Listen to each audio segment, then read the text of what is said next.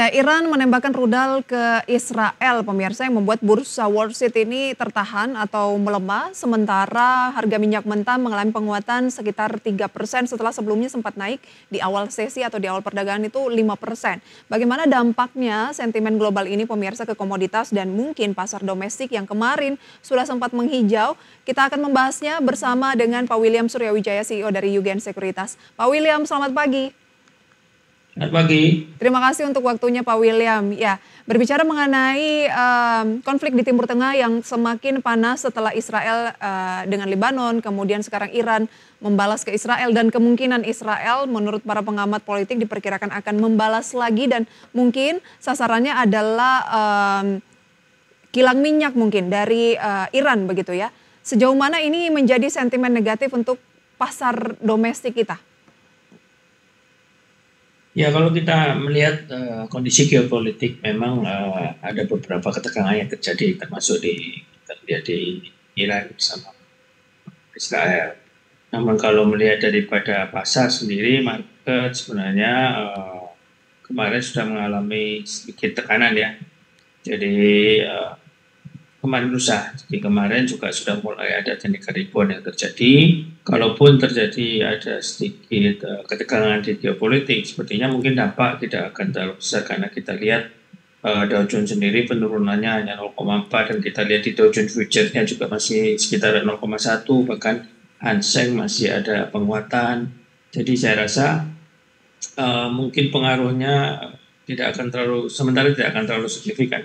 Pengaruh negatifnya sementara tidak akan terlalu uh, signifikan karena kan Anda lihat pelemahan di Wall Street juga ya turun tetapi tidak terlalu dalam kecuali Nasdaq-nya ya yang turun yeah. 1,5 persen tapi kan itu lebih ke teknologi isinya ya. Baik, uh, jadi ada peluang update dari pembukaan perdagangan pada pagi hari ini ada pelemahan tetapi tidak terlalu dalam ya Pak William. Iya kalau melihat karena kan kita tahu bahwa memang harga minyak juga ada sedikit uh, kenaikan, namun sudah kembali balik uh, istilahnya kenaikan tidak terlalu tinggi serta merta seperti di intraday-nya. Jadi saya rasa mungkin itu tidak akan terlalu memberikan pengaruh ya terlalu signifikan uh, di jangka pendek ini tidak akan memberikan pengaruh yang signifikan untuk jangka pendek ini. Itu kalau misalnya pengaruh uh, negatif dulu nih, Pak William. Kalau positifnya, harga minyak ini kan memang naik 3%, tapi menurut Anda kenaikan ini tidak terlalu sebenarnya signifikan dan mulai eh, pelan-pelan kembali stabil begitu ya. Jadi Anda tidak melihat saham-saham energi mungkin akan tergerak secara jangka pendek lebih ke euforia mengingat dari Amerika yang uh, bursanya secara umum turun tetapi energinya ini melambung seiring dengan saham-saham kedirgantaraan dan juga pertahanan. Tetapi kan di Indonesia kedirgantaraan dan pertahanan mungkin uh, tidak ada begitu ya, lebih ke energi. Pak William, euforia jangka pendek karena kekhawatiran Timur Tengah ini nantinya perangnya bisa meluas lagi. Uh, Anda tidak melihat itu menjadi katalis yang cukup besar untuk mendongkrak harga saham-saham energi? Ya kalau kita bicara eh, jangka pendek, terutama di intraday mungkin ya atau dalam beberapa hari ke depan, pasti ada pengaruh sedikit banyak. Hanya mungkin sifatnya lebih ke uh, tadi yang seperti disebut uh, lebih ke euforia. Kita tahu bahwa investor itu biasanya responnya cepat sekali kalau melihat ada sedikit uh, berita atau ada sedikit news yang uh, sekiranya bisa menjadi trigger. Uh, ada kemungkinan itu, hanya mungkin tidak akan terlalu panjang dalam artian ya mungkin lebih ke arah jangka pendek dan uh, sifatnya mungkin temporary saja. Di, namun kalau melihat dari sisi ini sudah mendekati akhir tahun, mungkin minyak batubara juga pasti akan menjadi salah satu uh, sorotan atau saham-saham yang kemungkinan akan mengalami rebound yang tentunya juga akan kembali mendongkrak IISG untuk uh, potensi untuk bisa mencapai all time high lagi.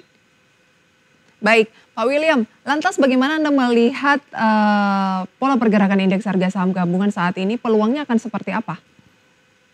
Ya kalau melihat pola pergerakan indeks, kita tahu bahwa dua hari lalu ada tekanan yang cukup dalam terjadi di indeks, sempat mau coba tes di angka sekitar 7.600-an ya, 7.500 bahkan. Uh, potensi untuk balik lagi ke balik ke angka sekitar 7.750-an sebenarnya masih terbuka lebar. Jadi kalau kita melihat baik itu di jangka pendeknya, kalau kita melihat jangka panjang justru sudah sangat terkonfirmasi kalau saham eh, kalau IHSG ini masih dalam kondisi uptrend. Jadi uh, potensi-potensi untuk uh, momentum-momentum yang bisa dimanfaatkan kalau memang ada sedikit tekanan itu tentu akan sangat berharga bagi investor-investor jangka menengah ke panjang. Baik, boleh disampaikan kembali uh, Pak William range dari indeks harga saham gabungan uh, mungkin ada support dan juga resisten terdekat? Uh, saat ini yang terlihat memang uh, ada di support sekitaran 7.540-an ya untuk saat ini yang uh, bisa dibilang cukup kuat. Potensi kenaikan masih paling tidak yang terdekat angka di angka sekitar 7.750. Nah, IHSG, saya rasa itu uh, rentang yang akan dilalui IHSG dalam uh, Kalau jangka pendek dalam fase apa saat ini Pak William? Lebih ke arah konsolidasi, konsolidasi. karena sifatnya kemarin kenaikan masih ke arah teknik rebound ya. Baik. Jadi sifatnya masih konsolidasi. Sifatnya masih konsolidasi. Uh, kalau masih membahas mengenai dampak dari um, memanasnya perang ya antara Iran dengan Israel konflik di Timur Tengah, uh, harga emas kan juga beberapa waktu terakhir memang sudah rekor ke level tertinggi ya, Pak William. Uh, ya. Nah, ditambah dengan adanya ketegangan geopolitik ini kan tentunya membuat orang lebih selera risikonya itu lebih meningkat di safe haven seperti emas. Nah, Adakah itu juga akan berdampak ke saham-saham emas mungkin lebih menarik dibandingkan dengan komoditas energi tadi atau yang terkait dengan minyak? Uh, emas memang uh, sejatinya beberapa waktu belakangan ini mengalami kenaikan, sedangkan uh, untuk shifting balik dari emas ke pasar modal ada mungkin sebagian, uh, namun mungkin memang belum terlalu signifikan karena itu mengingat kita lihat bahwa di capital inflow-nya juga uh, belum terlihat terlalu signifikan untuk masuk. Jadi saya rasa uh, saat ini kalaupun ada kenaikan mungkin emas juga tidak akan terlalu melampung tinggi walaupun memang uh, sejatinya itu menjadi safe haven untuk uh, investasi. Namun uh, penurunan yang terjadi di emas juga uh, saat ini belum terlihat akan uh, terlalu dalam. Jadi saat ini untuk shifting dari investasi emas ke Eh, pasar modal memang belum terlihat terlalu besar. Jadi saya rasa mungkin pergerakannya juga akan sama dengan IHSG lebih ke arah konsolidasi. Oke, pergerakannya masih uh, sama seperti IHSG lebih ke arah uh, konsolidasi ya?